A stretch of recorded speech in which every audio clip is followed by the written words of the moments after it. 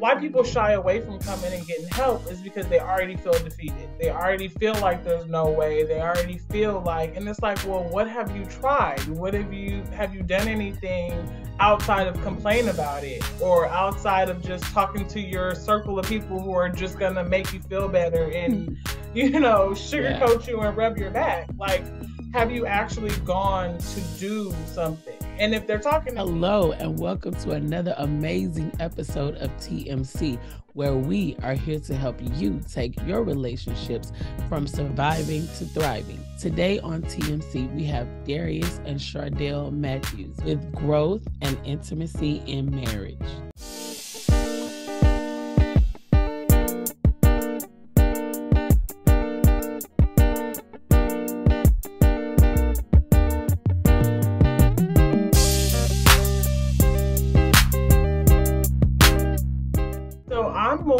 Here and now kind of therapist. So there's so many different scopes, right? When we're talking about therapy and different ways that you can approach therapy. There are different angles to therapy and therapists get to choose, right, which angle and which which way they want to go. So I'm more of a, a here and now present type of therapist, the person who's like, I'm ready, we need to change, we need to fix this, has probably long term list of things that they're like, this is a buildup of, you know, things we got to talk about. And the person who's like, I don't even know why we're here, they're more of like the here and now. They're in the present, they're irritated, they're all these things, right? And both of those perspectives are relevant to the problem that they're having. It's mm-hmm. how you're feeling not wanting to be here and how they're feeling wanting to be here and that urgency. And so I feel like unpacking both of them is where it's important because if let's say two people come in and they're not on the same page about why they're there, that's something to unpack. Why are you even here? Why are you even talking to me? What do you want to get out of talking to me? Because if that doesn't start off the right way, then there is a lot, you know, that has to mm-hmm. be done communication is really where it starts. Just kind of being open and honest and transparent about how you feel. Wow, wow, wow. I agree 100%. And that's awesome. think that is definitely necessary, if, especially when you find yourself struggling with certain situations in a relationships or dealing with past trauma and many of us we have things from our past situation yeah. circumstance our upbringing I believe we're all working through things and getting some help. There's nothing wrong with that. And you just said something that I was like, okay, because I think that sometimes we could probably look at the person's like, uh, you know, I don't know what we're here for, whatever. I'm here because mm-hmm. they want to be here, and you think that that person doesn't want to work on it. As we continue to think about dealing with therapy and things of that nature, if you all do not mind sharing, What's one of the challenges? You guys have been married for two years now. What are some of the challenges that you have experienced in those two years? And what are some ways that you overcame those challenges? I would say really learning her communication style for me for me was kind of a challenge because of the fact that I think she is a therapist. so because of the fact that she is a therapist, she can kind of cut herself off but it's not a it's not a bad thing, but it's just more of like a I know how to refine what I want to say. Yeah. It gives me the therapist answers. Just really just trying to figure out the way she thinks. Because I've noted again, her being a therapist, she thinks differently than mm-hmm. your normal average day per everyday person. Yeah. So I kind of had to think like a therapist. he became very observant. I I would say that. I think that's kind of what he wants. He's trying to say because yeah. I mean, as a therapist, we gotta observe everything body language words tones all of that right? Yeah. Um so when i didn't use my words he figured out how to process everything else. Um and to me what that did was it irritated me because as a therapist it's like i don't need you reading me. Just let me say it. And so that kind of made it pushed me in like a weird way to have to communicate with words. Mm-hmm. because if i did any other thing i'm like now you're trying to read me and i don't like that. Don't try to predict my statements. Um, because that's what therapists do. Therapists try to read you and kind of like read between the lines. Like there is no read between mm-hmm. the lines. There shouldn't be let me say. Yeah there shouldn't be a read between the lines when it comes to communication with your partner. Yeah. Um, and I tend to do that sometimes, and he'll push me to the point where I'm like, okay, I can't be doing it. That's definitely something that I'll say he has done for me for sure. I guess mine would be we didn't we spent a lot of time together during COVID because mm-hmm. when we we met two, 2019, so we were dating that year and 2020 was supposed to be like our come out year hanging around all our friends doing you know that um and then the world shut down on us mm-hmm. but we got to spend a lot of quality time together during that time so life started to life when everything started to happen again and things opened up and work and all of that um and so our quality time reduced a lot which kind of ran into like our intimacy and how we tried to figure out how to balance that and spend time together and incorporate that. Um, and I don't think it took us a long time to realize it was like a slow churn, right? Like it took us a long time to realize that that was affecting the relationship until it was affecting the relationship. Mm-hmm, mm-hmm. Um, and then we had to be very intentional, I think, about figuring out how to incorporate those moments where in covid we didn't have to think about it it was just a lot yeah. of free time and now just being married having different schedules you know having all this stuff going on money and life and inflation and all of this stuff right um is like how do we make sure that we don't sacrifice us mm-hmm. and that's probably been the most recurrent thing of like it's not just the month like let's just do it this month and then we'll figure it out. It's like, no, we have to consistently be doing this. And I think that's probably a struggle a lot of people have and they just don't realize it just because life is making them have to be busy or whatever the case is. Could you give the TMC listeners some advice to help to be more intentional about that quality time together and even some advice about what are some things they can do to to set that experience for that quality time from my perspective of that portion. For instance, for us, whenever I have an off day, no matter if it's last minute or not, I'm trying to bet let's go on a date. Last minute, it, it can literally be seven o'clock in the I mean, seven o'clock in the evening. I'm like, babe, we haven't we, we won't be able to do date night this week, so let's go tonight. Actually, putting forth the action to make time for that intimacy, girl, no matter what the situation is. I would say mine would be understand what you like and how you feel, because if you don't, you don't enjoy the moments mm-hmm. as well. If let's say you're just doing something because wow. somebody else wants to do it, you're not going to enjoy it. You're already coming into it with a bad mindset.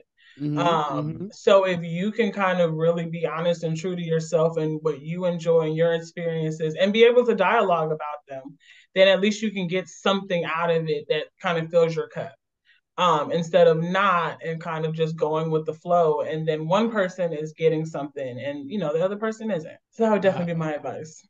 Wow, that's good. That's good because I think that's that may be something that we don't even think about, you know. So we're big on like the intimacy cards, the card decks, and the all that stuff. Um, and so we, I mean, I always say it's the little things it doesn't have to be anything big or grand. It could be a love note. It could be a text message. It could be um, anything that just, you know, we talk about the love languages, for example.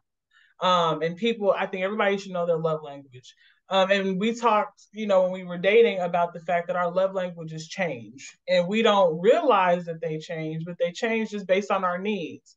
Um, and so by understanding that it's one of these things of like understanding where your partner is at that moment. What do they need at that moment? Like you said you know he might see that i'm stressed out during the day and he'll come home. He's like we need to go out.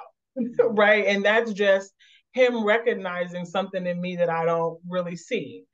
And so i feel like part of what's necessary is just having that ability to say like hey this is where i'm at um, and be able to express that and kind of have the partnership and understanding of knowing like it's okay to be able to express how you feel about those stuff. Be patient. Hmm. Everybody's moods is different. Work could be stressing her out. And then I may be in a mood for that, but she might not be because she just dealt with a client going through whatever situation is going she's going through, or they he or she is going through. But what I want to make sure our people understand about when it comes to date nights so we would just go to the park and walk. Mm-hmm. And we would just sit there as we're as we're walking, we're talking, and that's where we get all that. What is this? How I feel? This is what's going on. This is what I want. This is where I'm at. I want to make sure I said that part too. So literally, it doesn't have to be going on a day. It can yeah. literally. I've literally come home and day. Let's go to the park. Mm-hmm. let's go walk around the street, walk around the house, walk around the, the neighborhood, something like yeah. that. But as far as them not getting that what they want, yeah, just be patient and try not to be a bug. Um, try not to, to be a bug. I know how us men get. One of the metaphors I always use, um, I think that I'm pretty sure I learned it in school, um, has to do with Kool Aid. So like everybody likes their own flavor of Kool Aid. And unless you communicate, like I like red Kool Aid, you like orange Kool Aid, you like blue Kool Aid, unless you communicate what you like, nobody would know the kind of Kool Aid you need in your cup. They're just pouring Kool Aid into your cup. And so, you know, you want to say, oh, well, you saw my color, or, you know, there's so many different things you can say to try to give the reason why somebody else wouldn't be filling your cup appropriately. But the only way to make sure that happens is to say it. Hey, I like this Kool Aid. Yeah. And it's their choice to say, okay, let me get the Kool Aid that you like or not, right? But you can't fault them for giving you the wrong Kool Aid if you don't say it. And so it kind of goes back to that. It's like when people are struggling with stuff like that, well, what are you struggling with? Are you open or comfortable? You know, if this is like a long term life person, you should be able to say, hey, this Kool Aid is not working right now. Or something about this Kool Aid is funky um, and we need to put some more sugar or whatever the case is. Um, to make sure that both of us are in agreement about it, or both of us understand why something is wrong with it, or whatever the case is, um, because it's not his responsibility to know, and it's not my responsibility, you know, other than to tell him and communicate that it's you know him to fix. It's really a partnership when it comes to that. It's not a one-sided thing at all. The patience part is trying to figure out the needs of your partner i guess you can say yeah. not trying what, to rush the process is what the growth in patience is if that makes sense. It makes sense. I think that just for both parts the spouse that is learning to be patient as well as the the spouse that needs to receive that grace of patience just understanding like it's a everything is a process and you guys have said that multiple times tonight as a relationship this summer cedric and i will be married 25 years and oh wow congratulations thank you thank you. That's you awesome and there's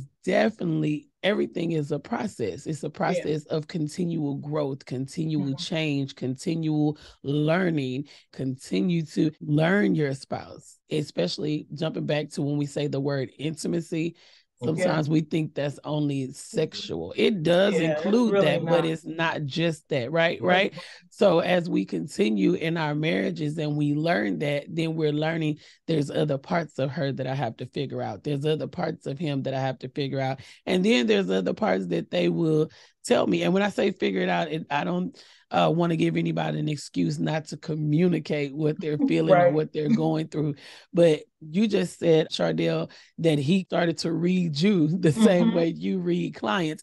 And mm-hmm. I think that I'm listening and I'm so happy that he's on here because it's like a whole different perspective to understand being married to the therapist, right? And then learning those same techniques to make them mm-hmm. work for your relationship. Like, mm-hmm. okay, yeah, she's stressed out. We need to go to the park. Let's go. What lessons do you feel that you've taken away from your relationship that would be beneficial to someone else? I feel like the lesson that I've learned with being with him is literally the truth will set you free. Um, I in my last relationship, I cannot say that I was honest about like myself, how I felt about certain things, my experiences. And so when I got in relationship with him, one of the things that I promised myself was that I was going to be honest. He was going to get me 100% love it or leave it, you know, and it was one of those things of there was even still a barrier at that point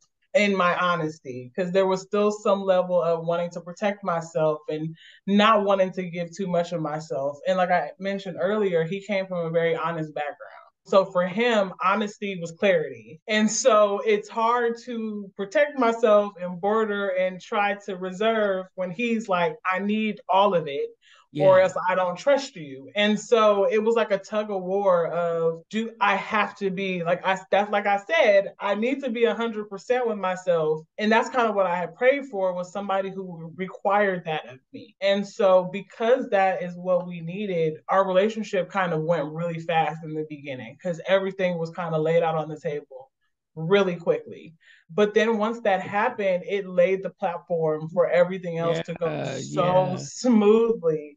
Um, that now I kind of regret not doing that in other relationships because I feel like that would have cut a lot of loose ends very quick. Just kind of having, not having to wait so long to get to the root of everything and how you feel and how it's affecting you, um, I think really did wonders in our relationship. So now it's like anything goes. I can talk about anything with him um, because all of the tough stuff really got discussed very quickly.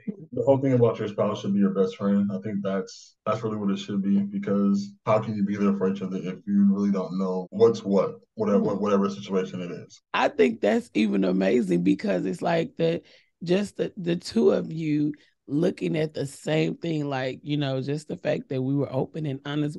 And Shardel, when you said that, I'm like, for a relationship, that's like, hello, when we're talking about the marital relationship, to be able to be honest, to be vulnerable, to be open with your spouse and have that foundation set from the beginning, it yeah. does remove a lot of the muck and the mire. Um, just like I said, for Cedric and I, we got married very young, and there mm-hmm. I would tell the truth. That was not me. That was not my case. It, it was like thoughts and feelings, and they yeah. like, I'm I'm not about to say that. I'm not discussing that.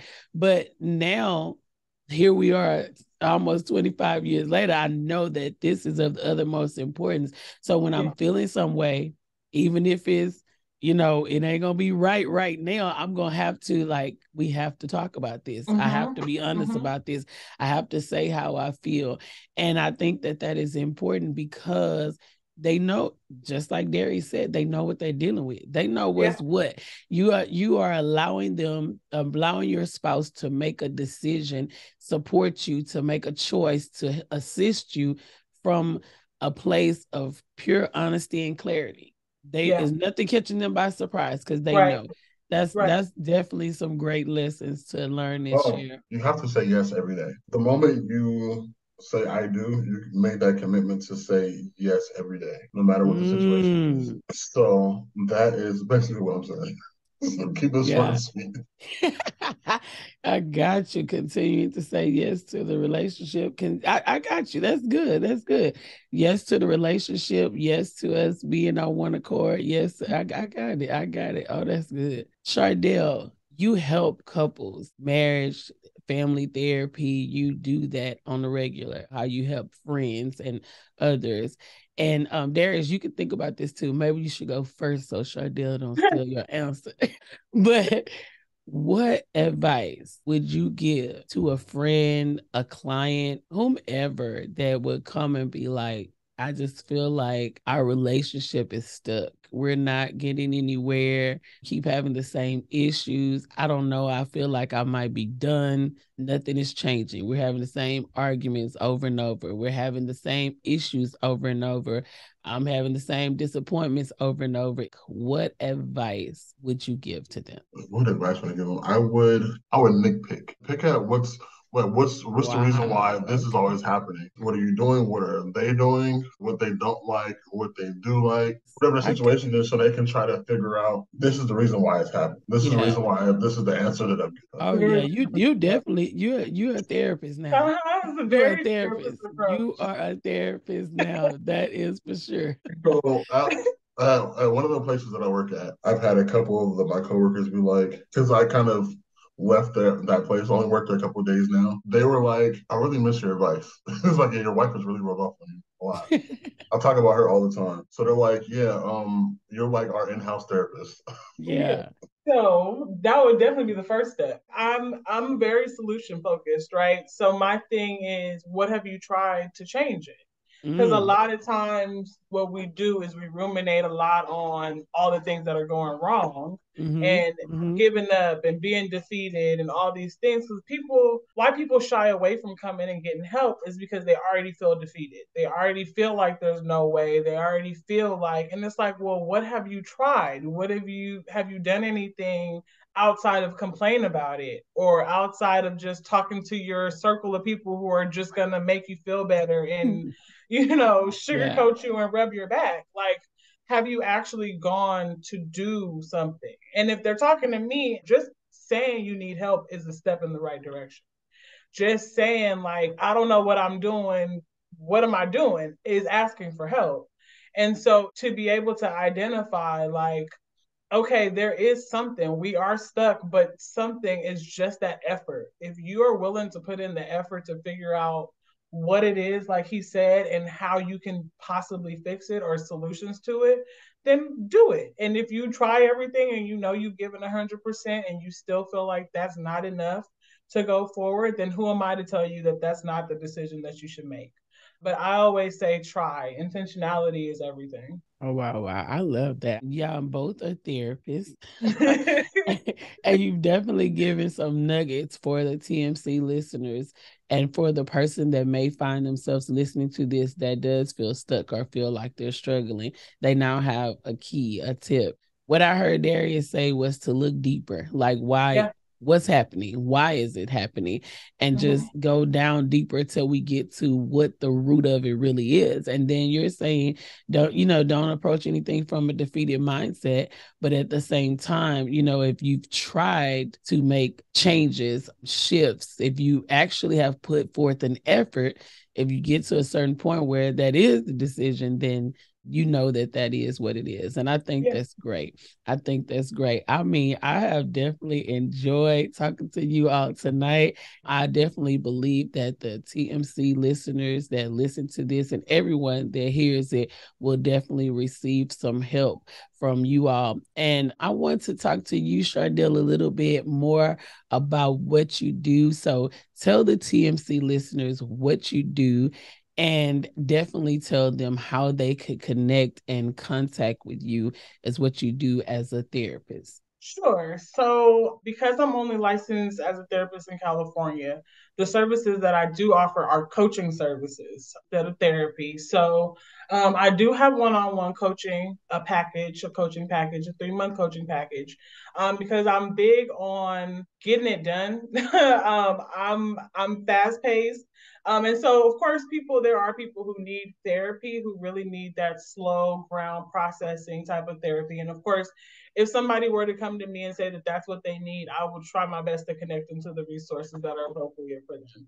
But if somebody has an issue or a road bump that they're like, I just really need to knock this out and I'm feeling stuck, like you mentioned, or I'm not really sure how to navigate it, then the three month coaching package is just there. It's simple, it's easy um, and kind of all of my brain and my nuggets as a therapist kind of gets incorporated into mm-hmm. that kind of thing. So I call it hybrid coaching um, because you can't not get the therapy in me as your coach. Yeah. Um, and that's kind of how that goes. Then, secondly, I have a, a couples coaching program um, that I'm really excited about. And um, especially with that program, it starts off with this really thorough questionnaire um, and what that does for me is it breaks through a lot of those conversations that people are not comfortable having. Mm-hmm. Um, and even to be honest, a lot of the questions that they ask in that questionnaire, you don't even really think about um, in the day to day kind of field. Mm-hmm. So to start off the coaching program with that questionnaire just lays everything out, which is why I tell people like you could be at the early stages of your relationship. Um, if you're like, hey, I want to start this program, I want to even see if I want to date you. Like, if you're willing to invest that time and that money into that program, you know, that's already a jump start into your relationship. But it can go from there to a couple who is thinking about getting divorced, like you mentioned.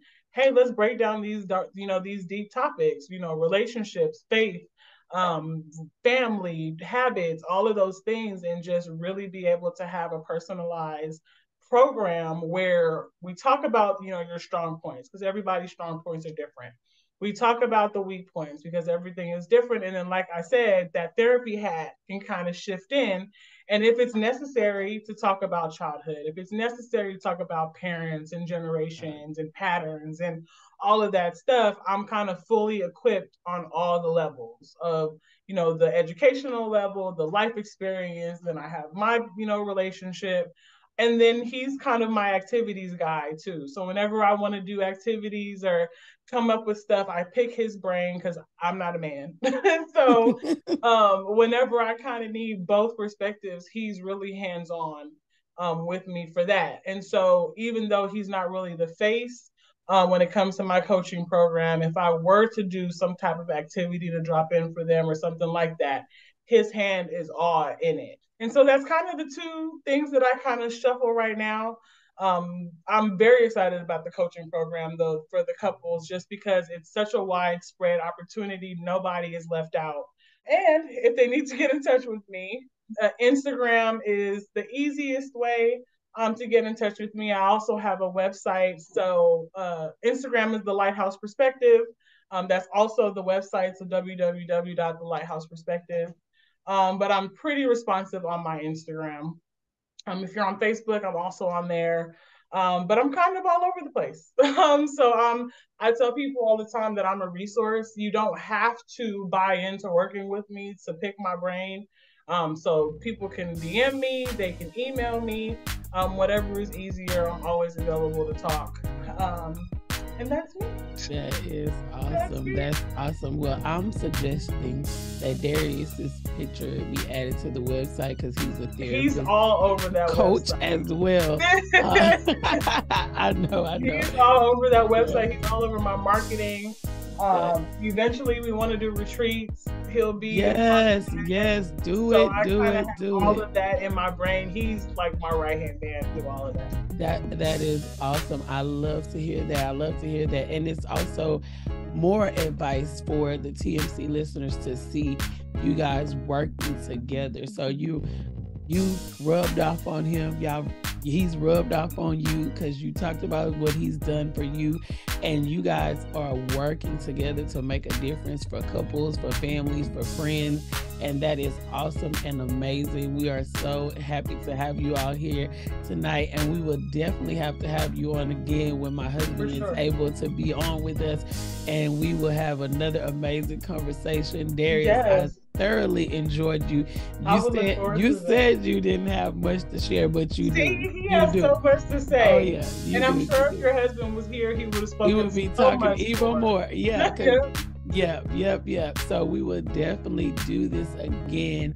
And uh, we have definitely, I, I'm saying we always so used to saying we, we, I definitely enjoy having you all on, and we will definitely do it again so that we can um, have another, yeah, sure. another, another friendly conversation with Mr. Francis. So, on behalf of the TMC listeners, we want to thank you all for joining us today. We want to thank you for everything that you shared and we appreciate you taking from your time to pour into us. No, thank you. So we hope that you enjoyed today's episode. And if you did, go ahead and subscribe. Click the like button and turn on your notifications so you'll be notified each time we upload a video. And if you're listening on iTunes, rate the podcast and leave a review. That helps us get the word out. So we want to thank you for joining us today.